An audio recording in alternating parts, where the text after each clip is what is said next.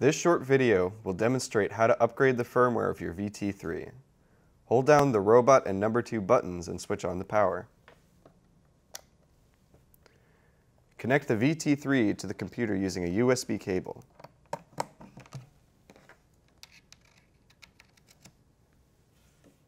Open the VT3 drive folder on your personal computer. Copy the updater file onto the VT3 drive. After copying the file is complete, remove the USB drive from the computer and disconnect the USB cable. Press the 1 button to start the update procedure.